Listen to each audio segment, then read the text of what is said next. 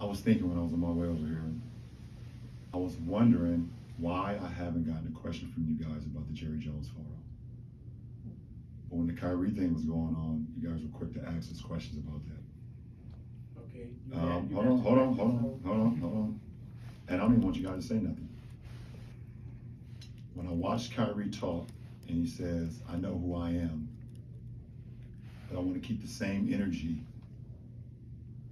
we're talking about my people and the things that we've been through.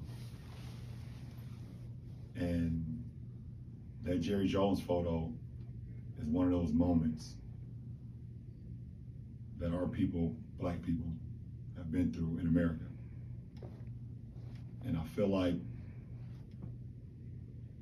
as a black man, as a black athlete, as someone with power and a platform,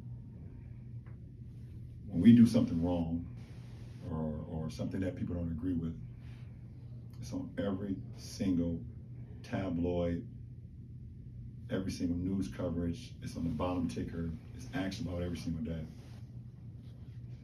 But it seems like to me that the whole Jerry Jones situation photo, and I know it was years and years ago and we all make mistakes. I get it.